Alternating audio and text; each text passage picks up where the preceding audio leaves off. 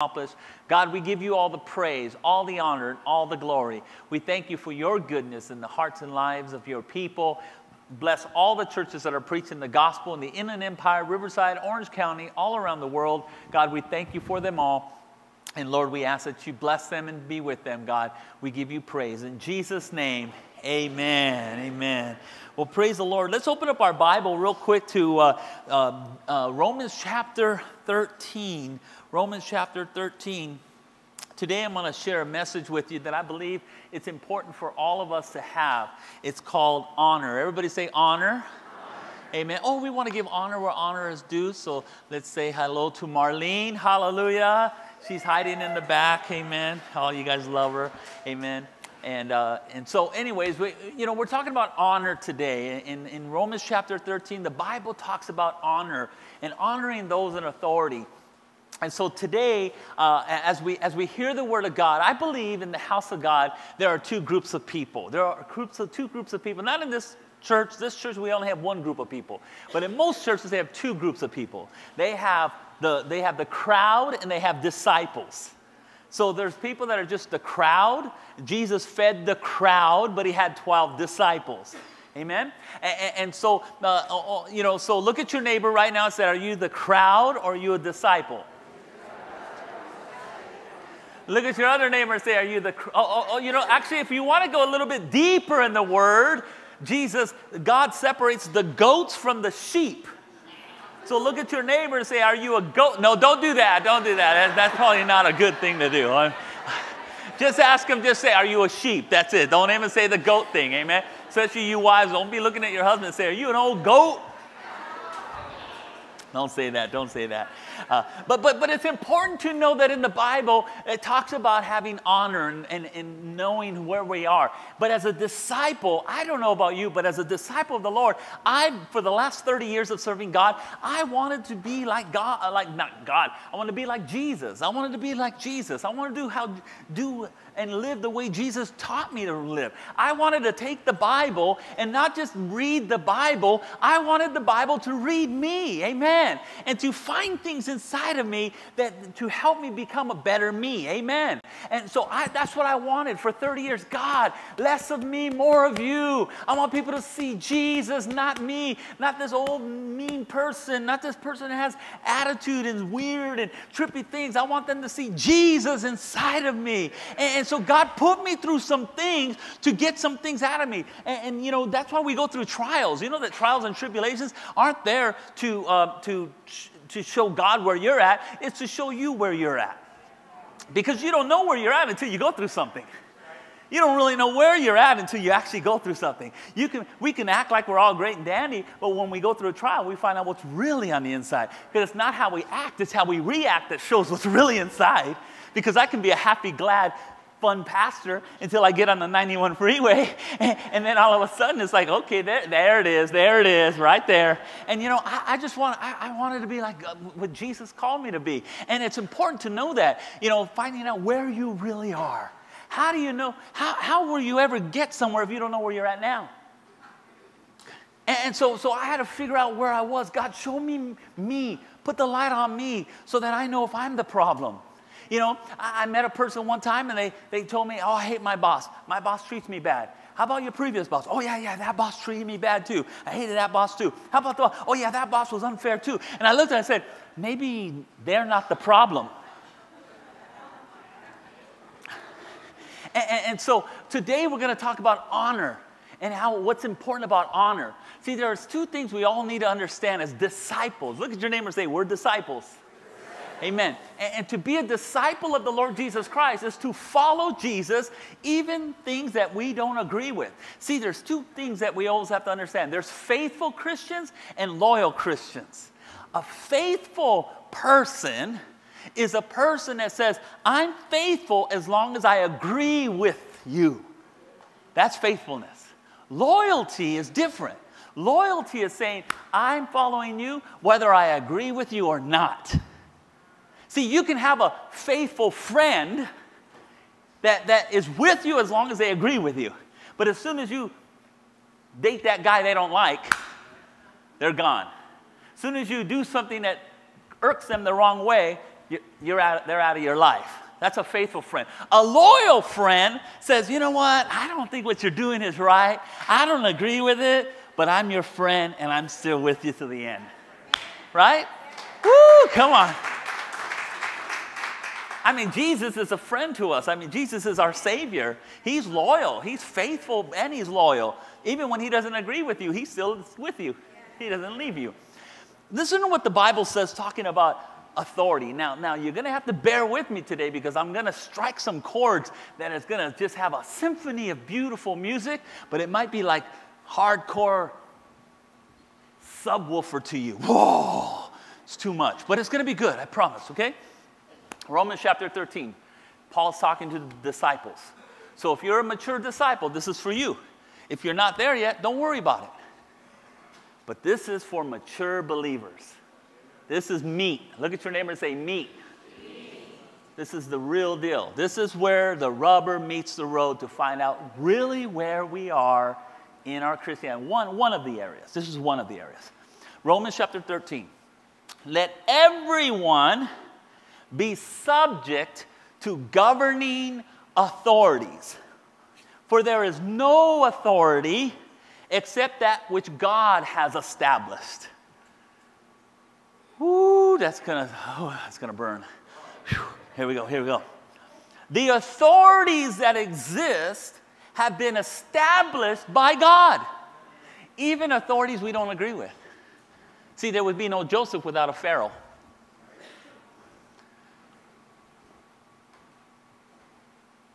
And so we need to understand that just because we don't agree with certain people in positions of authority doesn't mean that God didn't put that there on, purpose for a purpose.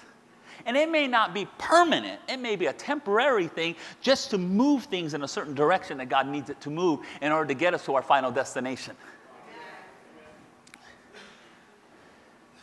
The authorities that exist have been established by God. Consequently, whoever, everybody say that with me, rebels, one more time, rebels against the authority is rebelling against what God has instituted, whether it's permanent or temporary.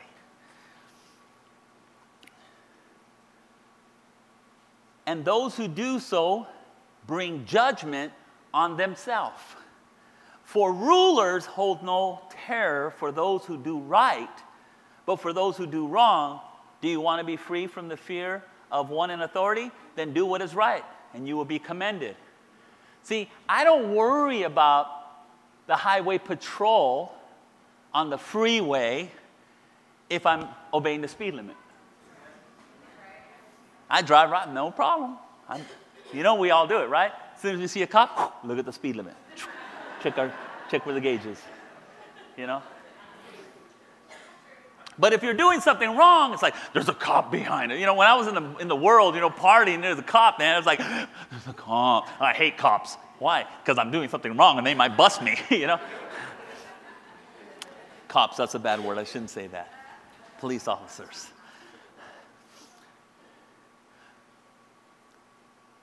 And, and you know, in regards to that, police officers and those in, uh, uh, in authority like that. You know, there's, there's always going to be, there, people are people. There's going to be good and bad. You know, there's going to be some that aren't fair and some that are. But it's not my place. My place is to obey the Word of God. Amen? The Word of God says respect those in authority. So I have to, whether I agree with it or not, I have to respect authority. Here we go. Do what is right and you will be commended. For the one in authority is God's servant for good. But if you do wrong, be afraid, for the ruler does not bear the sword for no reason. They are God's servants, agents of wrath to bring punishment on wrongdoers, on the wrongdoer.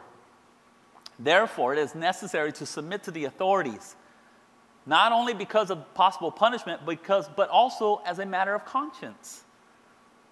This is also why we pay taxes.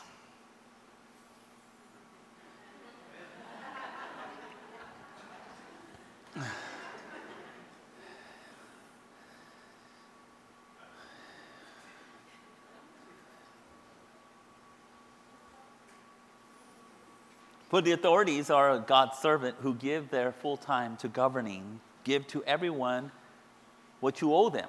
If you owe taxes, pay taxes.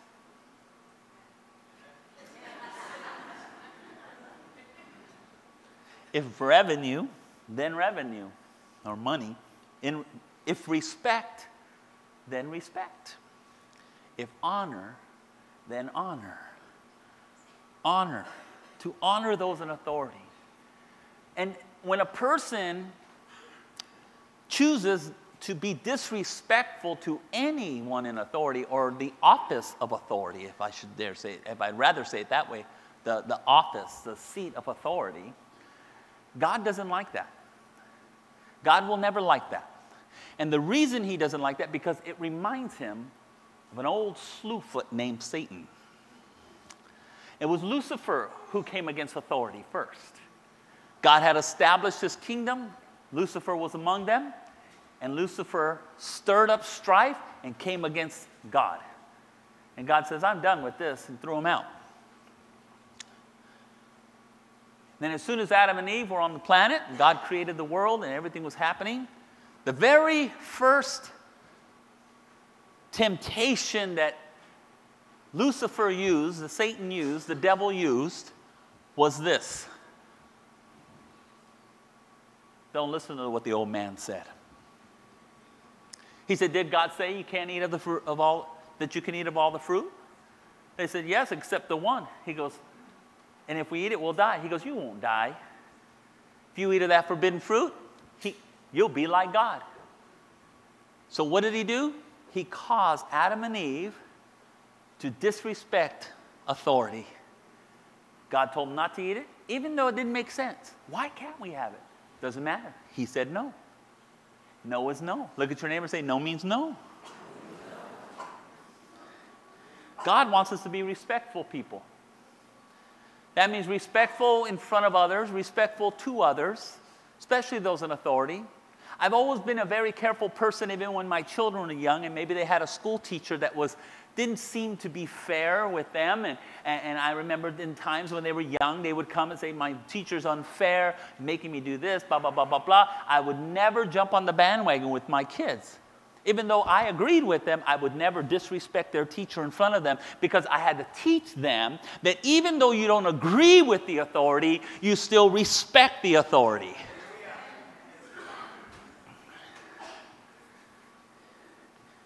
1 Peter 2:18 Servants be subject to your masters with respect not only to the good and gentle bosses but also to the unjust. For this is a gracious thing. I mean God for himself sends rain on the just and the unjust. He doesn't say well that that that, that unjust person I'm not going to give them rain. And so everywhere they go there's no rain but everyone else gets rain. It's like don't go around that person he doesn't have any rain on him. So if you see a person that's dry, walking around with no rain on them when you're wet, something's wrong with that picture. You know, when it comes to bosses, you know, I, I had a boss that was, yeah, that boss. I had that boss once. That boss was crazy, man. And you know, I would go to work and everyone in the company, and it was a nurse's station, with a dialysis unit, uh, I used to be a dialysis nurse. And man, she was, she was like something wrong with her. I don't know, man. She, she just like, you could, she was unpredictable. You didn't know if it was a good day or a bad day with her. You know, you just walked on tippy toes when you, when you, when you went to see her. It's like, okay, is she going to trip on me or what? You know, you just couldn't, it, it was hard to read her. And all the other nurses would just talk about her and bash her. And you know, and I just chose as a believer to stay away from that. Because it didn't matter if I agreed with her or not, or if I liked her or not. The, the, the, the, the, the uh, just knowing, just the fact that she was in the office of authority, I learned be quiet. Don't touch that. If it's wrong, God will take care of it but I'm just going to do what I'm supposed to do, what I got hired to do. I wasn't hired to like my boss, I was hired to do my job. And so I would go to work and I'd just be like, man, and they'd be gossiping. Oh, did you hear what so and so? It's like, you know what? I'm out of there. I, I'm sorry. That's my boss. I'm not going to do that. Even though you're right. See, you can be 100% right and completely wrong. And so I just prayed, oh Lord, get her out of here. No, no, and I, because I didn't know what that boss went through at home.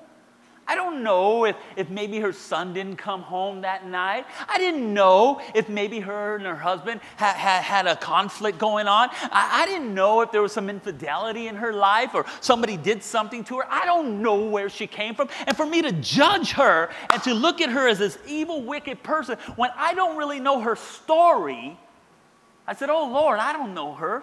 You know what? I, I have enough issues of my own to worry about. Be talking about someone else's. So I just pray for her. I said, Lord, you know, just bless her, be with her, you know, fix her. I mean, Lord, just to help her.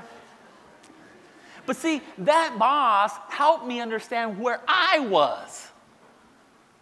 Can I submit to authority when I don't, when I don't agree with it?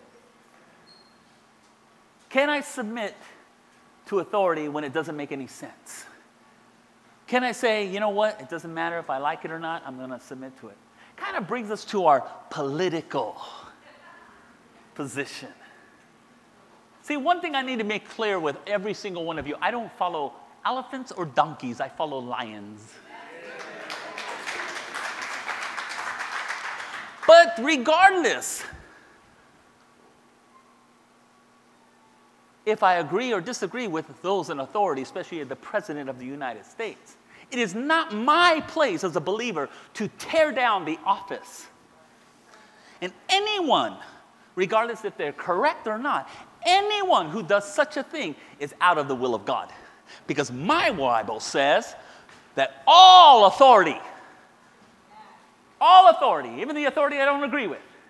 So I always question myself, or actually, when I see things, when I see believers on a rampage, tearing down the government tearing down presidents, tearing down. Listen, and they, they, it's been going on forever. Don't think just because the internet showed up in the 1980s, that's when it all started. It's been going on forever. You just didn't know.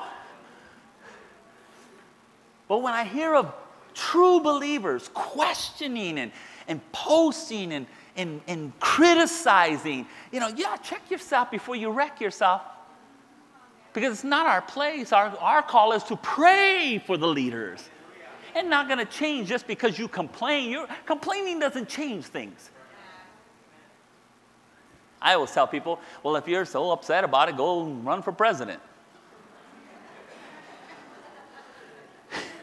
I said, most people don't even care about politics until it affects them.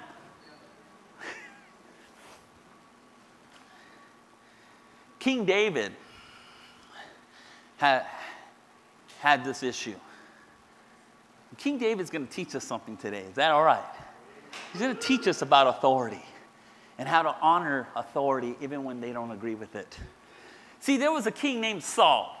You can read it for yourself in 1 Samuel. And King Saul was anointed to be king. People wanted a king, God gave him a king. Then King Saul, he decided when Samuel the prophet came to him and said, King Saul, I don't want, I don't want you to make a sacrifice. You don't, I'll make a sacrifice. He didn't even tell him not to make a sacrifice. He just said, I'll make the sacrifice when I come back. And, and then you guys are going to go to war. Well, King Saul decided, ah, you know, it's taking too long. People are getting a little bit, uh, you know, a little, little uh, nervous. So I'm just going to make the sacrifice. So he just did it. Completely went against Samuel's authority. King Saul was not a priest. He had no authority in that area, but he's going to do it anyways because of the people. So he does it. Samuel shows him and says, What are you doing, Saul? The people made me do it, you know? And, and that's what I always tell leaders that all the time. Be careful, leaders. Don't let people lead you, you lead them. And, and so so, uh, so Samuel says, You can't do that. Don't do that. That's, you, that's, you're coming against God's authority. And, and, so then he says, Now this is what God wants you to do. Go to the Amalekites. I want you to, God wants you to destroy all the Amalekites. Get rid of them. Get rid of all of them. Don't spare anybody.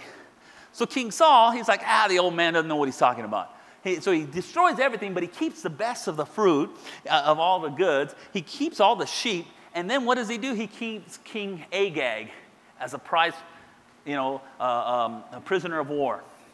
Samuel shows up and, what, what are you doing, Saul? And guess what King Saul does? He says, I've done the will of the Lord. He is convinced that he's done the will of the Lord. He goes, I have done the will of the Lord, Samuel. See, I, I know you told me to kill everybody, but you know, I thought it would be better if we just kept the best and we did it this way because if we do it this way, we can offer sacrifices to God. And I'm sure God would like that. But you know, let me tell you something that's so important that King Saul missed is that just because it's good doesn't mean it's God. That, that, that, that just because, you know, a religious spirit is a trippy spirit. A religious spirit can get on anybody. You know what a religious spirit does? Makes you think you're in the will of God when you're out of the will of God. Religious spirit make you think you're cold when you're hot when you're really cold. Makes you think you're doing God's will when you're completely out of God's will, but you'll be convinced you're doing God's will. And just because it looks like God doesn't always mean it's God. See, Samuel tried to convince himself that he was doing the will of God, and he came against authority, and then, and then he tried to excuse himself and say, well, you know what? This is the best. But really, what he was doing is coming against authority. And, and so God said, That's it. You're not going to be king anymore. And he told Samuel the prophet, That's it. You're not going to be king. And so when Samuel went to go turn, Saul grabbed his garment and tore it off. And Samuel turned around and said, That's how the kingdom's going to be torn from you. Then the next chapter, Samuel the prophet goes and finds David, Jesse's son, anoints him as king, the next king. Saul doesn't know about this. He only knows that there's going to be a king eventually. But see, even though Samuel said that, Saul was still in that office. Saul still sat in the office of a king. So here's David, anointed new king. What does he do? He's a humble little boy. Doesn't pride around, you know, uh, parade around. Check it out, man. King, can't touch this. I'm the next king. No, he doesn't say nothing. Just keeps quiet. Then he, then he goes to see his brothers out to battle, and they're ba- battling the Philistines. And so David shows up, brings him some cheese, you know, Cheez Whiz and some crackers. Uh, I don't know. He gave him some food, took him to his brothers, and he looks over and he sees this Philistine. He's like, "What's going on over here?" And, and God is so good, man. God is like awesome in the way He orchestrates things. You just never know what just might be uh, uh, the, the the very thing that God uses to get you in the right place in the right position. So here's this here's this Goliath, and he's like, "What's going to happen to the guy who kills this Philistine?" And they're like, "Oh." Um, uh, um, uh, King Saul's going to give you his, his daughter. He's like, What? So he goes and tells King Saul, Hey, I'm gonna, I, I, can, I, I killed a lion and a bear. I can take out this Philistine. No problem whatsoever. And so he convinces King Saul. I believe it was God who convinced him because what king's going to let a little boy do that?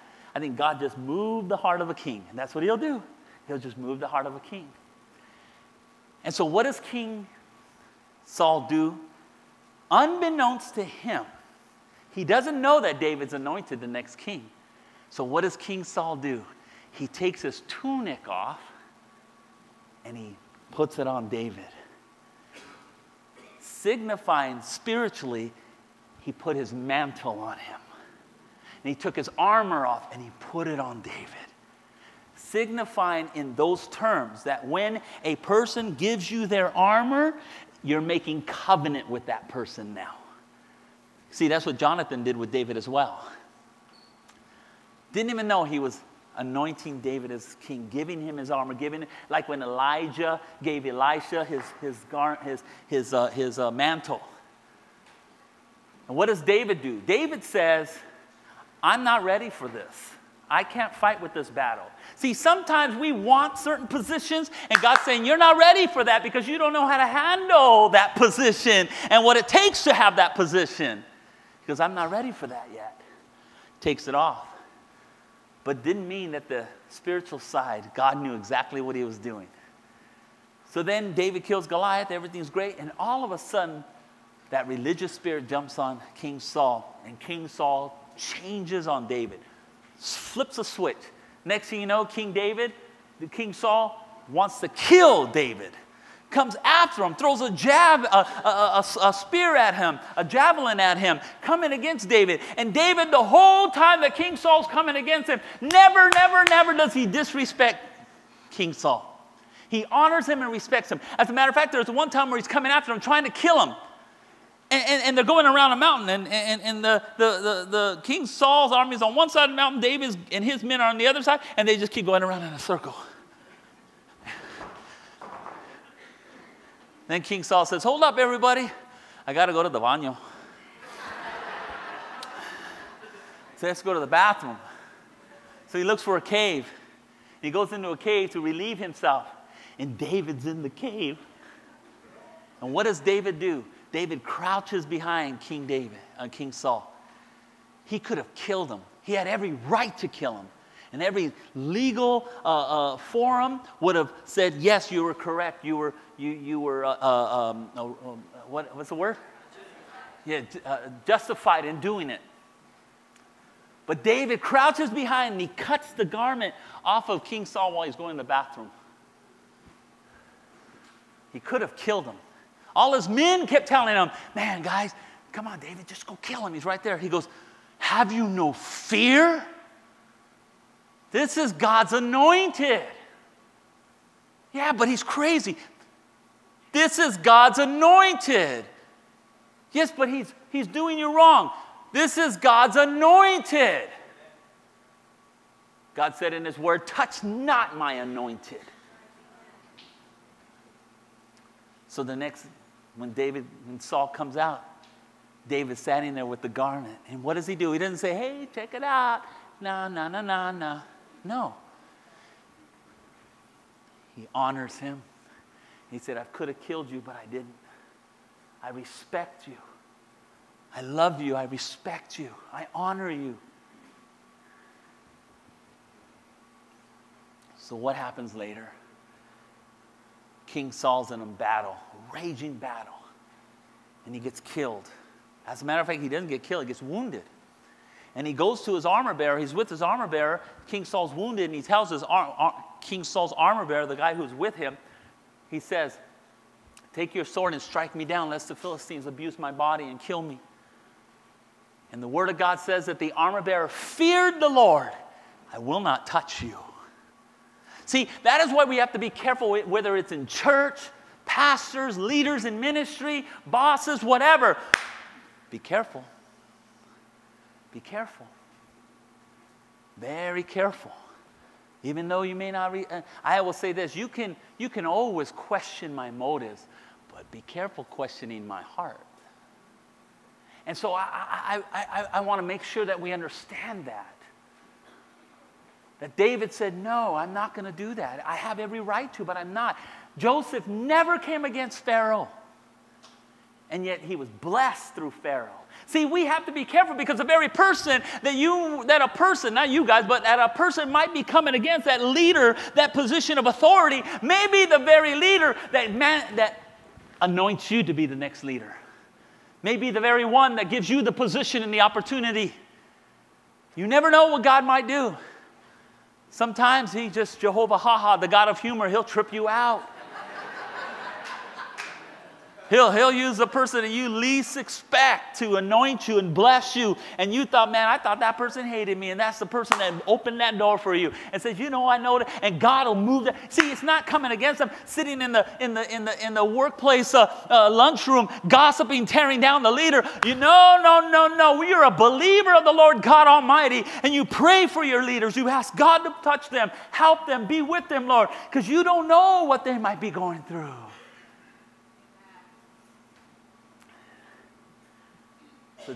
So King Saul drops on his sword and kills himself. So this young guy sees Saul.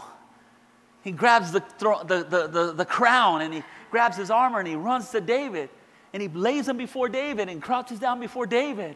He says, and David's like, Where are you coming from? I came from the battle. He goes, Give me word. What happened? He says, King Saul's dead and his, and his sons are all dead. And I have come to bring you the crown. He goes, How do you know that? He goes, I was there. And he lies to David.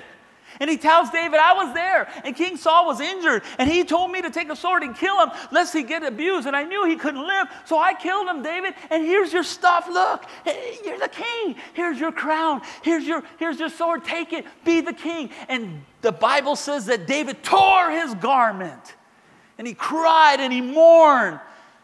He says, Do you not have any fear to touch God's anointed? How dare you come with my stuff thinking I'm going to give you props and position because you tore down the king and you're telling me you killed him? Do you have no fear? He says, Strike this man down who has no fear to touch, no fear. And I always say to myself, I always have to be careful. I've been in positions where my boss treated me bad, and I said, No, I'm not gonna go down that road. I prayed for him, and I was blessed through that. Because after I went on vacation, I came back, I walked in my, bo- my, my, my company, and, and, I was looking for the boss. I said, Where, Where's the boss? They said, Oh, they, she got fired. oh. Dang it. So sucks.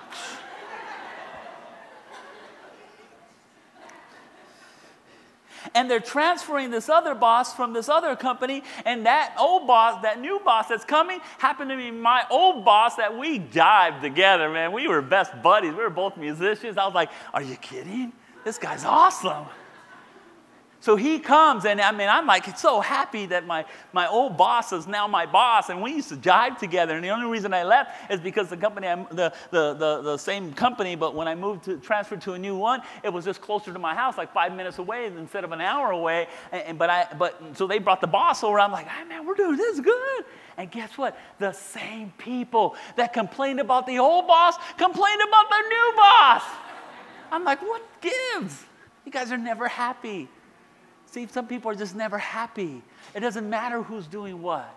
That's why we always have to be careful not to get on the bandwagon with people, not to jump on social media and tear down leaders and authority, government, presidents. It doesn't matter. Even if you don't agree with them, you respect the office enough to say, as a believer, it's not my place. I'm called to pray for them, not tear them down. And that ought to bring a deep conviction that these people that are in authority, whether we agree with them or not, whether they're right or not, whether King Saul was a good king or a bad king, whether he was a crazy king and did crazy stuff and tried to kill David, David said, I will not touch God's anointed. I will not touch those in, in authority. And as a believers, we need to understand that all we're doing is tearing down a nation when we should be united as a nation. And say, you know what, I don't always agree with every single government or president. I don't always agree, but it's not my place to say anything, to say anything negative and tear down. My, my, my job as a believer is to pray for them, to pray for those that are in, the, in authority.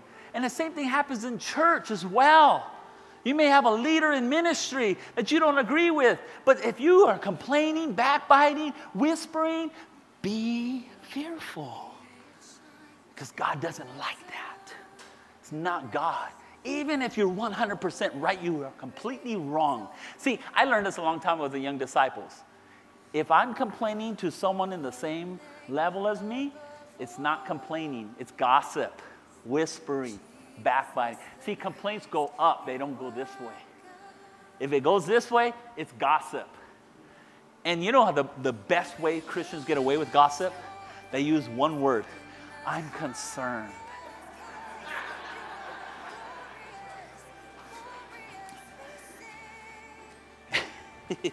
I had this guy tell me one time that, his pastor was not, uh, his guy was complaining about his pastor. And so the guy, it was Chuck Smith. So Chuck Smith was his pastor, and this guy was just complaining about Chuck Smith. Oh, that Chuck Smith. I don't understand why they don't do this. And, you know, I always say this listen, eh, eh, no negative comments without a positive solution. If you don't like how things are done, have a positive solution. If all, you, if all a person is going to do is complain, that's just gossip. That's just being a complainer. So I was, when I was in children's ministry, I'd tell all my team leaders, no negative comments without a positive solution. So before you make a negative comment, have a positive solution. Well, I don't know what to do. Then be quiet. and don't go whispering with someone else, tearing down leadership. Man, that happened to me. I had a boss, I had a pastor one time. He told me all I did was go to church, sit down, and tie my shoe. He walked in, and he, he just walked in. I, am just, I just got in the building. I sit down and tie my shoe, and pastor walks in and goes, Hey, can't you tell it's hot? Why don't you turn the air on? See, in this generation of Christianity, we would have been, I'm offended, I'm leaving the church, and I'm going to go and put a review of that pastor.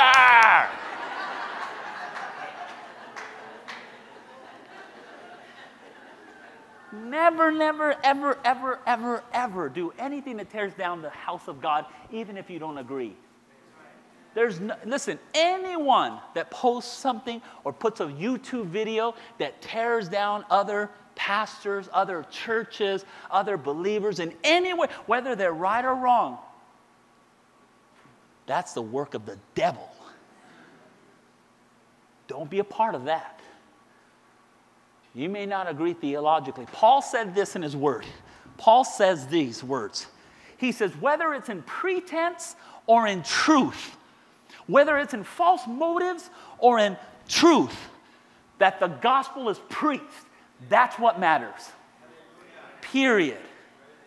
And if I don't agree with that preacher, I don't agree with that church, I don't agree with what they're doing, it's not my place. Because if I go on social media, YouTube, and I start putting all this stuff, I, all it's making the world think is that we're all dummies and we don't know nothing and we're all out, out of control.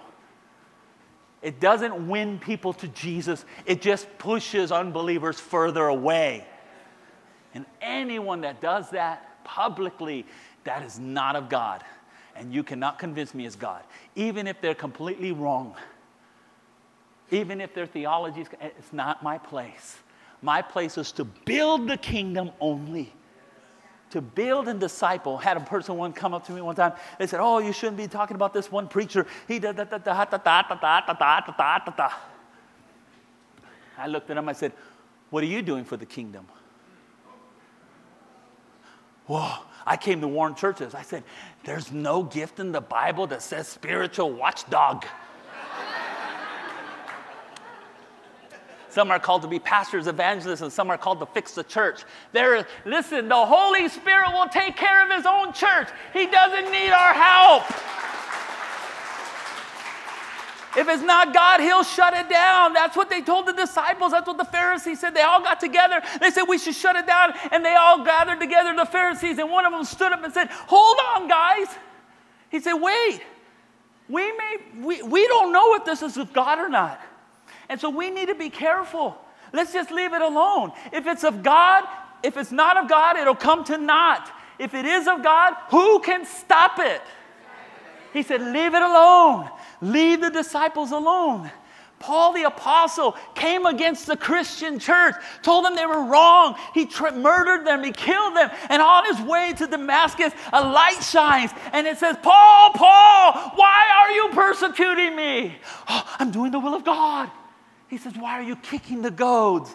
Goads are the sharp edges of, a, of, a, of, these long sticks, and you're sticking yourself. Every time you kick it, thinking you're going forward, you're just sticking yourself some more. He says, You have no idea. So I believe it's all with all my heart that as true, mature believers, that we understand that there are people in authority, and it's not our place as believers to ever tear down, criticize, cut down those that God has put in leadership and to follow anyone or get under anyone or give ear to anything that is tearing down those things is terror, it's seed of discord. And so the word of God says to us, it says, do not touch my anointed one and do my prophets no harm. The word of God says, these six things the Lord hates, and seven are an abomination. A proud look, a lying tongue, hands that shed innocent blood, a heart that devises wicked plans, feet that are swift to running to the devil and running to the evil. Excuse me, yeah, the devil. I said that right. Amen.